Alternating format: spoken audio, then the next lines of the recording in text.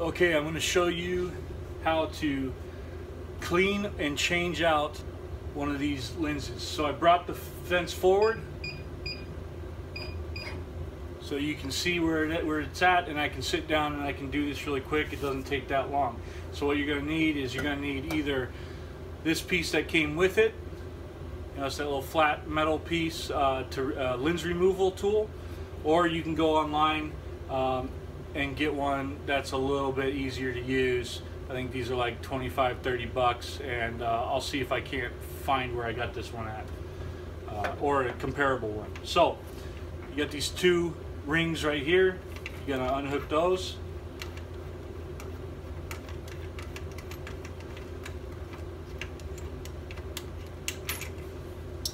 And you're gonna unscrew from your air nozzle and I'll show you where you can get more of these. I saw a lot of people had questions about where to buy these little air tube nozzles because they do get burned up and they do get full of gunk and I've replaced mine like two or three times now. Uh, so now you've got it off. You've got that little metal ring on top of your uh, laser lens, correct? Uh, and then on the bottom side, you probably got a bunch of carbon and stuff. I change mine out probably twice a day. I, I, I pull it out to clean it. Uh, so we're going to do that. So I'm going to use my tool. Um, you know what? I'll use the metal tool to pull it out and this one to put it in. So we're just going to go in there, these two slots.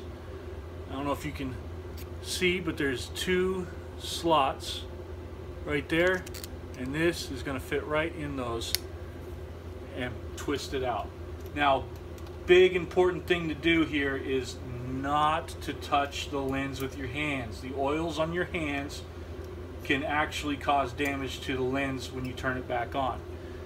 Uh, I'll show you what to do there. So let's, so I actually found holding this still and turning the head piece is actually a little bit easier than trying to spin this metal flat piece inside here. So a little trick you can use. Okay, so we got this out. We're gonna pull off the little metal bracket, little metal ring, and we're gonna set it down and uh, we're gonna end up popping this out.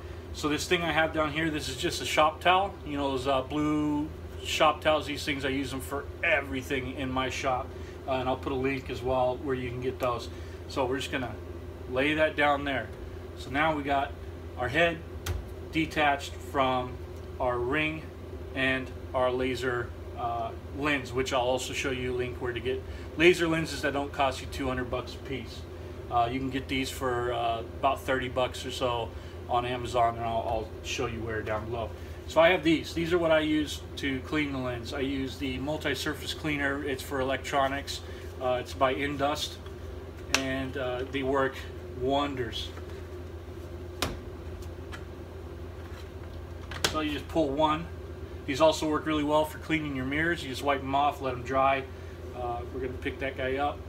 Again, don't touch it with your hands. And we'll just lay that back down.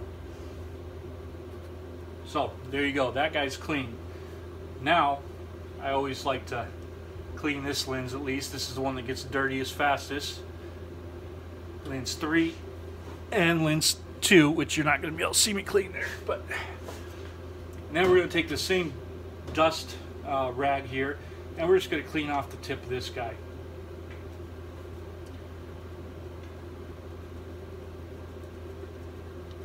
Give it a look through, make sure it's not clogged up, and she's good to go.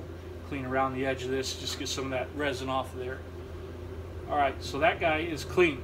Now, if you're going to be swapping out your laser lenses, you're gonna need uh, swapping out your laser nozzles uh, for a different lens, like I going from like a two inch lens to a four inch lens, then you're gonna need this tool. You got these little little dots here you got this tool with these nipples on it and they're just going to fit right in there. And you can pop open that and it'll just spin open and you put the new lens on there our laser tip on there. Uh, but for this sake uh, we don't need to do that. But it's as simple as that to, to change out to a, a, different lens. You just pull off this one and you put on you know the 4 inch which is uh, you know much bigger. Okay so we got that done now this is the uh, trickiest part. Oh, notice what I did there? So I just pulled off a little piece of this. I got the concave or uh, uh, concurved edge on the top, so it's going like this up, right? You want the, the higher end of this concave lens facing up.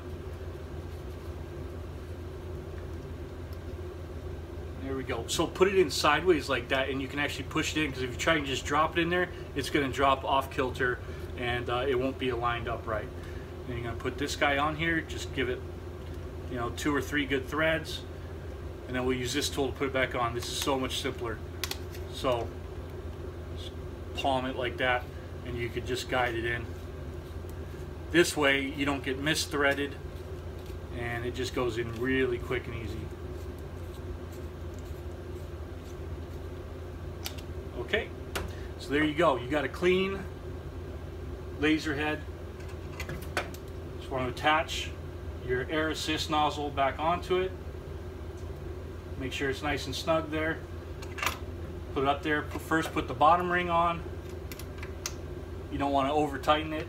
And then your top ring there. And you are good to go. So that's it. That's all there is to it. Uh, this little piece here is used to uh, measure from the top of your uh, ledge here to the top of your materials. So show you. So you get the proper distance uh, from your laser lens to your material because as you know all that that concave top is going to focus the lens so you want that laser that focal point to be right at where your material is okay? And that's all there is to it so you just line it up put it wherever you need to go and you're off to the races. So until next time be good